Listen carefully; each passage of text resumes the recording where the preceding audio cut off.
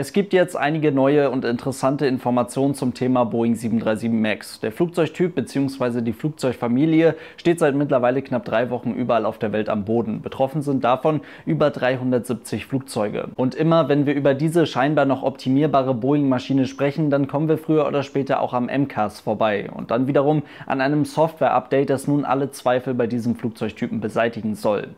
Aber wir haben noch nicht so richtig darüber geredet, wie dieses Software-Update jetzt überhaupt aussieht, was das an der 737 MAX verändern soll. Und deswegen schauen wir uns das jetzt mal etwas genauer an, was Boeing da ausgearbeitet hat, inwiefern man mit ein bisschen Programmierung ein erfolgreiches Verkehrsflugzeug sicherer machen möchte und warum das alles der FAA noch nicht so richtig gefällt, was Boeing da gemacht hat. In diesem Sinne viel Spaß beim Video.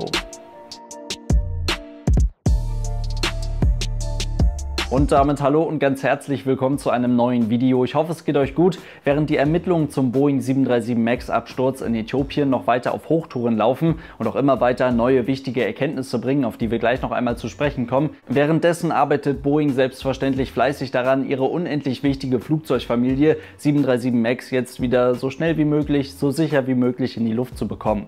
Und das, wenn möglich, auch mit einem Ruf als sicheres Flugzeug. Und da spielt die in den USA verantwortliche Luftfahrtbehörde, die FAA, noch nicht so wirklich mit, wie der Flugzeughersteller das jetzt gerne gehabt hätte. In der letzten Woche stellte Boeing bereits das neue Update für das Maneuvering Characteristics Augmentation System der Boeing 737 MAX vor, das Software-Update, was jetzt all die Probleme lösen soll, die das Flugzeug scheinbar bis zum aktuellen Zeitpunkt noch hat. Also das hätte man jetzt innerhalb kürzester Zeit auf die ganzen Flugzeuge aufspielen können und dann die Maschine nach Ansicht von Boeing in einer noch viel sicheren Variante, als es vorher der Fall war, jetzt auch wieder in die Luft bringen können. Und die wichtigsten Änderungen, die jetzt mit diesem Software-Update kommen sollen, die sehen folgendermaßen aus. Der Boeing 737 MAX stehen zwei sogenannte Angle of Attack Sensoren zur Verfügung. Zwei Sensoren, die den Anstellwinkel des Flugzeuges messen. Einer befindet sich auf der in Flugrichtung linken Seite, auf der Seite des Kapitäns vorne an der Flugzeugnase.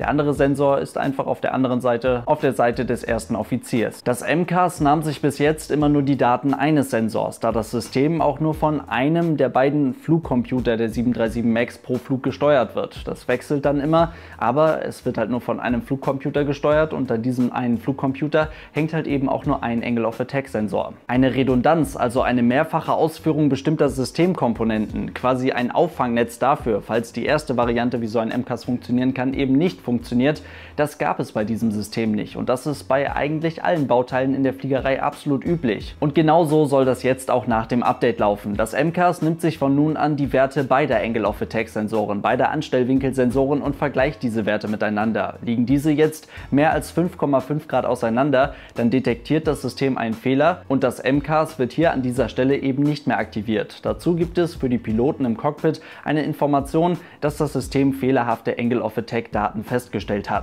Damit verfrühstückt man gleich mal die beiden größten Kritikpunkte des Systems, und zwar fehlende Redundanz und fehlende Informationen für die Piloten.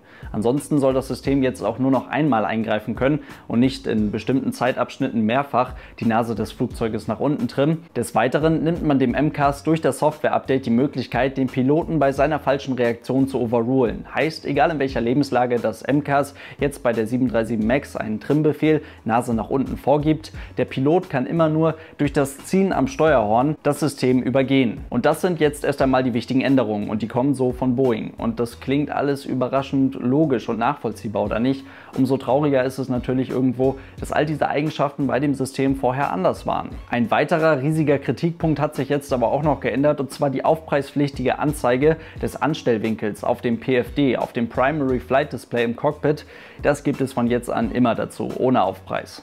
Naja, der FAA, der Luftfahrtbehörde in den Vereinigten Staaten, reicht das aber alles noch nicht so wirklich aus. Zusätzliche Arbeit sei bei der Software bei dem Flugzeughersteller noch nötig, man bittet um weitere Verbesserungen und dann wird man das System des MCAS mit der neuen Software natürlich einer allumfassenden Sicherheitsüberprüfung unterziehen. Heißt es zumindest und das wird wohl noch einige Wochen in Anspruch nehmen. Solange bleiben erst einmal alle Maschinen vom Typ 737 MAX am Boden. Währenddessen hat heute die Transportministerin Äthiopiens erste Ergebnisse zur Untersuchung des Absturzes der 737 MAX der Ethiopian Airlines vor fast einem Monat vorgestellt. Und da wird es dann wirklich interessant, dass es Ähnlichkeiten gibt zwischen dem 737 MAX Absturz der Ethiopian Airlines und dem der Lion Air das wissen wir bereits. Mittlerweile ist aber auch klar, dass das umstrittene MCAS bei dem Ethiopian Airlines Absturz auf jeden Fall eine Rolle gespielt hat, dass es aktiv in die Trimmung des Flugzeuges eingegriffen hat und die Piloten, ganz wichtig, richtig reagiert haben. Sie haben so reagiert, wie es der Flugzeughersteller bei einem fehlerhaften Eingreifen des MCAS vorschreibt. Und an der Stelle wird es dann wirklich ein bisschen gruselig. Scheinbar haben die Piloten das System über das Betätigen der sogenannten Stabilizer Trim Cutout Switches deaktiviert. Das sind diese wichtigen Schalter, über die wir schon im letzten Erklärvideo zum MCAS gesprochen haben.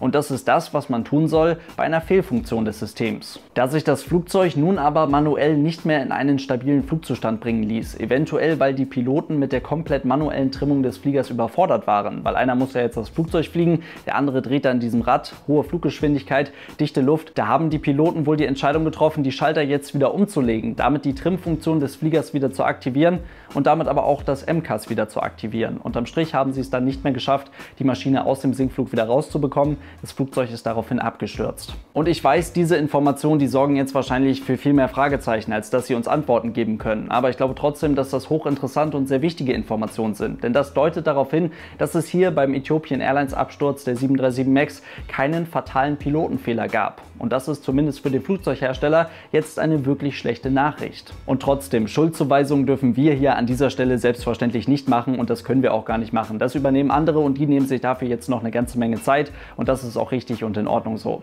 Ansonsten soll es das für heute gewesen sein. Ich hoffe, es waren ein paar interessante Informationen für euch mit dabei. Sobald es etwas Neues zu dem Thema 737 MAX gibt, dann besprechen wir das natürlich hier. Ansonsten freue ich mich wie immer über Feedback zum Video und dann sehen wir uns hoffentlich morgen bei einem neuen Video wieder. Bis dahin, lasst es euch gut gehen und tschüss.